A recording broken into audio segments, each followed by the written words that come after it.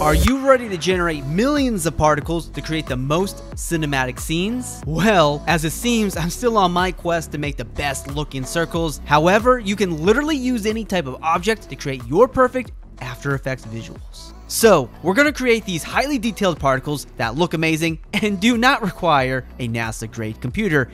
Even if you have a toaster, you should be good to go as we don't use any third-party plugins or Pop-Tarts on this channel. Okay, the first step to creating cinematic particles is to import your graphic. However, to start off, I'll create a circle with the ellipse tool.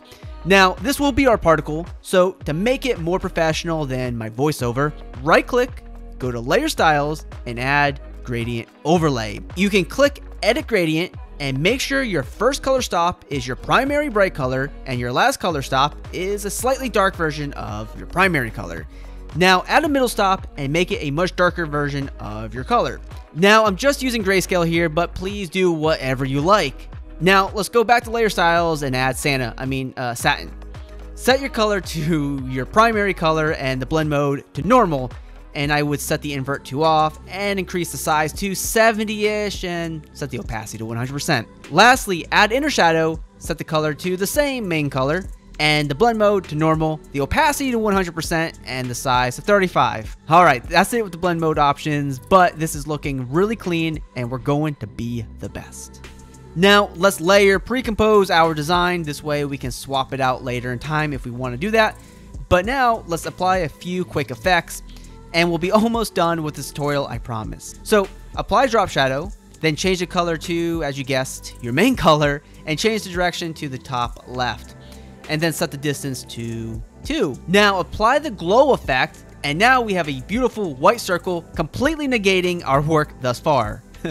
but increase the glow threshold to around 90 to 95%, and increase the glow radius to 400. To remove this black glow, set the glow colors to A and B colors and the color B to white. And coming to an end, apply posterize and then set the level to around 60 to 70, giving you this nice texture effect. And since I'm working with white here, I'm going to apply tritone as an optional effect to give our object a blue tonality. But when done, layer pre-compose what you have and select move all attributes. Okay, I swear to you, we're done with all the designer effects here, but now let's get to particle making, baby. But first, be sure to get our 100 free template pack here for After Effects and Premiere Pro. As you may know, we also have tens of thousands of templates, including these cinematic titles you've seen in this tutorial, followed by transitions, animation presets, and everything you need to produce the best projects in no time, the link below. Okay, back in this. Create yourself a solid layer and apply the super expensive,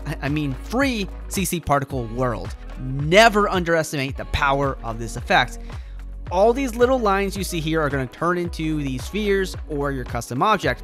So to do this, go into the Particle tab and set this to Textured Quad Polygon. Now, present this to your client and tell them it's the Emperor's new clothes. Anyway, go to Texture and set the drop down to your design object and then turn that layer off. To begin the fun, set the rotation speed and initial rotation to zip zilch 0. Then typically I like to set the birth and death size to 2. Size variation and max opacity to 100%. And then to buy some opacity insurance, open the opacity map and draw this in completely. Now let's go into the physics and set the rules by setting the animation type to twirl.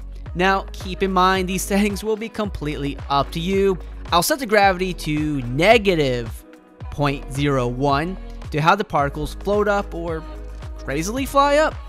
But we can dial in the speed by setting the resistance and the extra to 1. Okay, so we have too many particles here, so I'll literally type in to the birth rate 0.03 and then set the longevity to 15 so these particles never die young. And lastly, go into the producer and set the producer's location to emit the particles from under your scene by using these guides. You can also adjust the radius size as well to spread out the particles. Alright, I know I promised millions of particles, however, I also want that beautiful depth of field because apparently everything looks cinematic when the cameraman can't focus the shot. So create a camera layer and make your particles a 3D layer. After Effects won't like this, but pretend nothing's going wrong. So duplicate your particles and push it back into Z position space. I would then go into the solid settings and increase the size of your layer until it fits into your composition again. Then go to extra and adjust the random seed to give yourself a different variation.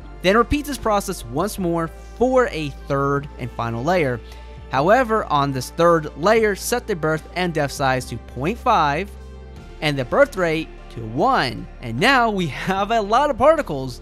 And because we have a camera, you can enable depth of field, increase the aperture by a lot, and then keyframe animate the focus distance to pop the blurriness between each of the three layers.